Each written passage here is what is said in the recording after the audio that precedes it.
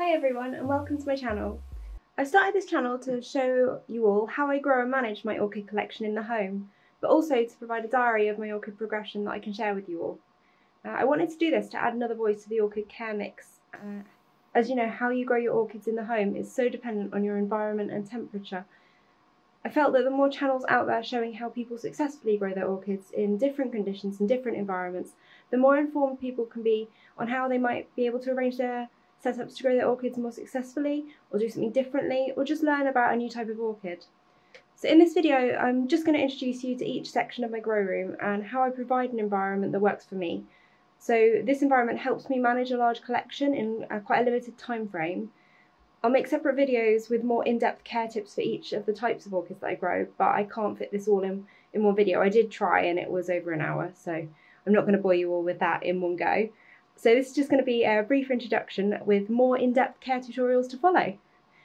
So as you can see, for the most part, I provide quite a lot of artificial light, which is supplemented by natural light from a window in my grow room. I'll start you off with the Miltoniopsis and Oncidium shelf that you can see here. So with my Miltoniopsis, I managed to grow these quite successfully even in a warm environment. So my temperatures range from sort of 15 to 25 degrees Celsius, but sometimes they can go more towards the 30 Celsius range actually. Um, my humidity stays between 60 and 75%.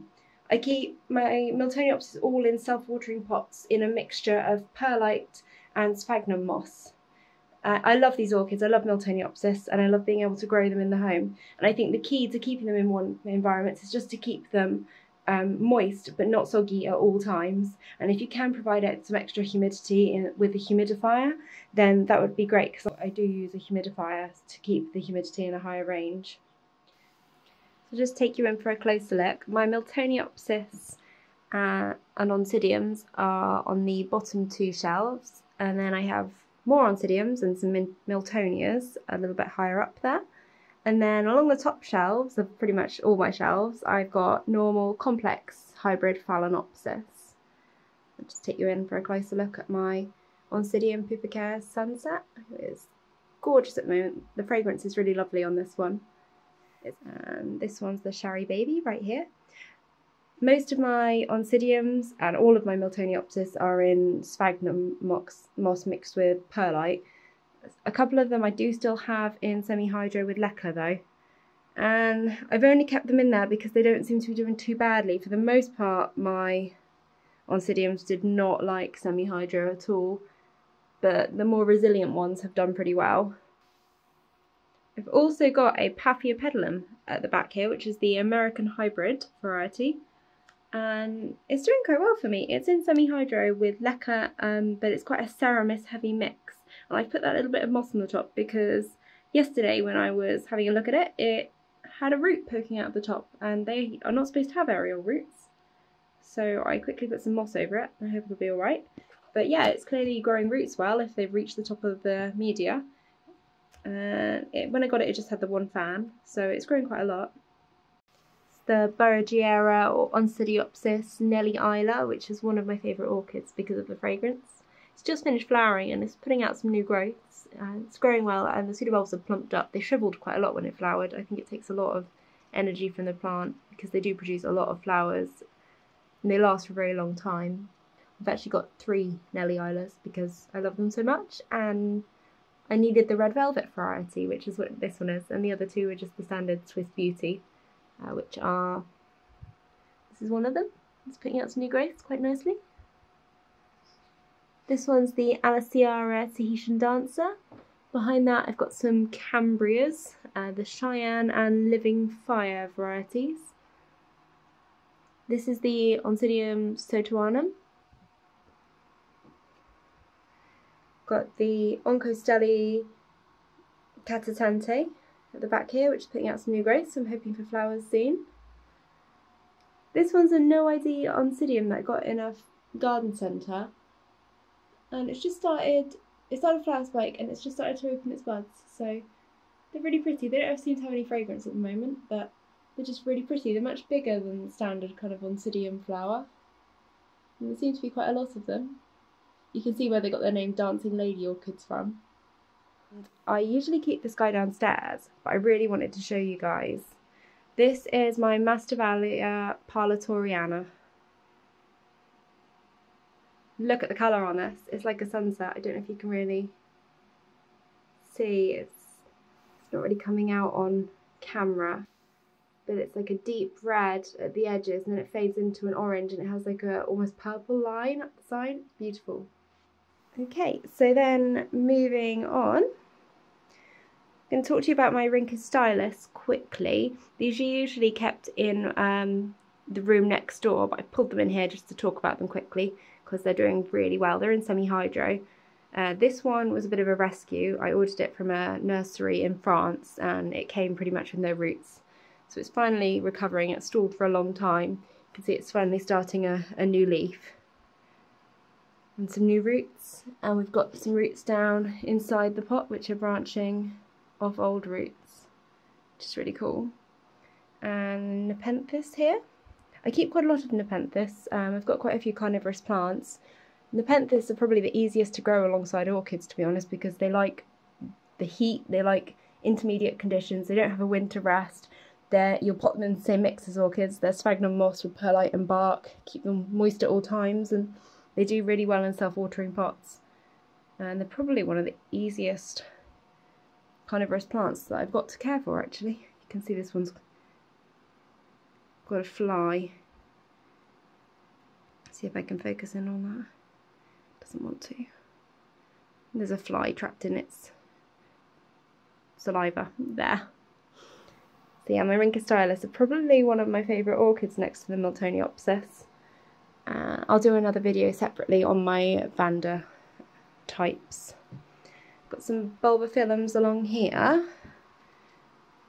And this is my Phalaenopsis Happy Fangsa that I keep putting photos on Instagram of because I love it so much. The, as you can see, it used to have a lot more flowers and they are starting to fade now, unfortunately. But it does keep producing new buds and new flowers. That's really beautiful. It's um less complex hybrid. It's a little bit closer to the species, so it is fragrant.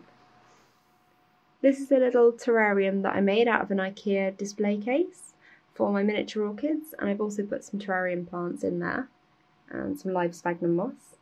So we've got Trias picta, or I think it's now called Bulbophyllum pictum, um, here. It's really cute little orchid with squashed pseudobulbs that look kind of like apples. That's producing a few new growths around the back there see. And then here I have got, uh, I really don't know how to pronounce this, Lepanthes telepogoniflora. And that is this tiny little orchid here, for reference, smaller than my finger. And you can see it's got a flower spike there, which I'm quite excited to see because it's got a flower that's actually bigger than I think the whole orchid. And this one's another Bulbophyllum pictum, or Trias picta. That one I got initially and I didn't think it was doing very well. And I was doing an order with a different orchid nursery and I saw that they had some quite cheap.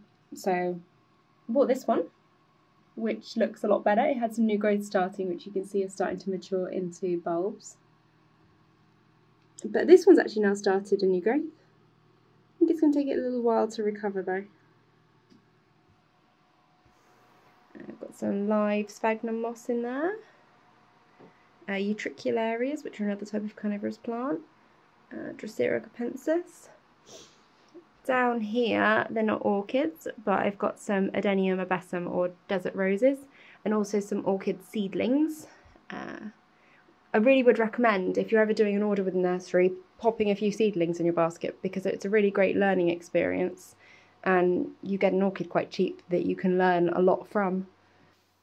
Uh, so up here my bulbophyllums and I've also got a Brassavola nodosa cross back to a Brassavola morning glory which is a nodosa hybrid. And another carnivorous plant it's an Australian pitcher plant, Cephalotus follicularis.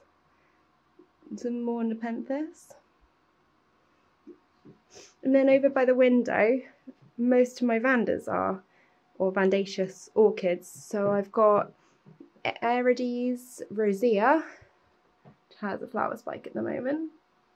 uh, Vanda Pachara Delight in the back there. This one is a Vanda Denisoniana. Uh, Rick Narida's Bangkok Sunset, which I love. Beautiful fragrance. Uh, Aranda, which is cross between Arachnis and Vanda. Gyrac Velvet. It's got a picture on the tag there. And another Vanda hybrid. It's uh, just a white Vanda hybrid. They're all doing quite well at the moment, producing lots of new roots. And behind these, on the windowsill directly, are my Cattleyas. So I've kind of got quite a few Cattleyas because they grow quite well for me. They're all in semi-hydro. Got a few seedlings here. This is a Violacea seedling. And this one is a Cattleya Mont Elegante, which has a really beautiful cluster of pink spotted flowers on. And the new growth, I don't know if you can see in there,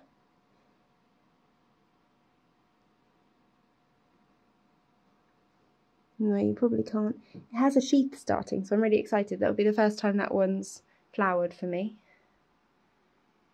And this is my Cattleya Tokyo Magic. It's got a really nice fragrance. It's done really well for me. Really nice shiny plump pseudobulbs as well.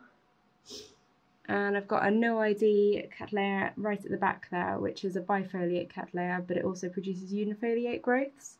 And I do have two lots of buds on there. You can see that. And then here, this plant is the Ricara Francis Fox, which hasn't flowered for me yet, but it's really beautiful, just in the middle there. Hoping it'll flower this year. It suffered a bit on transport, you can see it's got some yellowing leaves, but it's pushing out quite a lot of new growths at the base there. So I think it'll do okay. It's getting new roots down in some leca, so that's good. And then behind, I've got my species and primary hybrid Phalaenopsis, my Holcostylus MS Sunlight, which is cross between Rhynchostylis gigantea and Holcoglossum flavescens, uh, Encyclia cordigera. Uh, this one's a Phalaenopsis Samera, so it's a primary hybrid between Violacea and Bellina. Love how glossy the leaves are on this one. And we do have a second flower spike, which has just started there. So I'm quite excited for that. It came with this flower spike, but it hasn't really done anything. It hasn't dried up. And they are sequential bloomers, and the, they can keep their flower spikes for years, but it's pushing out a new flower spike instead. So I'm happy with that. Here I've got some sort of odd orchids. I've got my Zygopetalum cornutum down here, which is picking out some new growths. Peristeria alata, which is also called the Holy Ghost orchid or the dove orchid. It's the national orchid of Panama. It produces really huge flower spike with really huge white flowers, which literally look like they've got a dove sitting in the nest in the centre. And apparently they're really fragrant. Um, I didn't think it was doing very much, so I went to unpot it and maybe put it in more of a sphagnum mix. It's in semi-hydro at the moment. And I actually found loads of new roots growing, so I quickly put it back and left it. They're supposed to have quite a harsh winter rest to be able to get them to flower, and I've only I only got this in January, so I don't know what it had before. I didn't water it while I had it, but it didn't really shrivel or do anything until now. So I'm not sure what's going to happen with this. I might need to wait until next year for flowers and give it a quite a harsh winter rest. Got Dendrobium phalaenopsis. I have four denphals in total. Um, I like them, but they're not my favourite orchid but they grow well. They have really pretty flowers. What's not to like? And then we have Phalaenopsis, Sweet Memory Liodoro, which is a gorgeous orchid. Really recommend it. It's quite a big plant, but it produces multiple flower spikes. It keeps its flower spikes for years. It'll branch off them. You'll end up with a really beautiful display of really fragrant flowers, which are gorgeous. And this one is the Phalaenopsis Joy Fairy Tale, which is a really nice Peloric hybrid. Really waxy flowers. Show you one that's not directly under a grow light.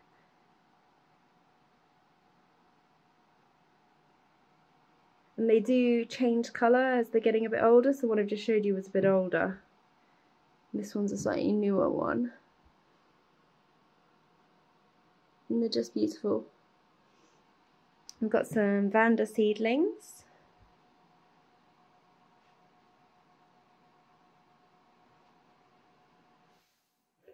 Uh, back there we've got a Sedirea japonica, which is the Minmaru version, which is the miniature. I've actually got the larger version as well, which is just here. So you can see the size difference. Um, more desert roses. The back, we've got one Maxillaria tenuifolia, which is huge. And I did put a question up about this one because it looks very different to the one I've got that actually flowers. And this one doesn't seem to flower. But having said that, I'm going to have to eat my words because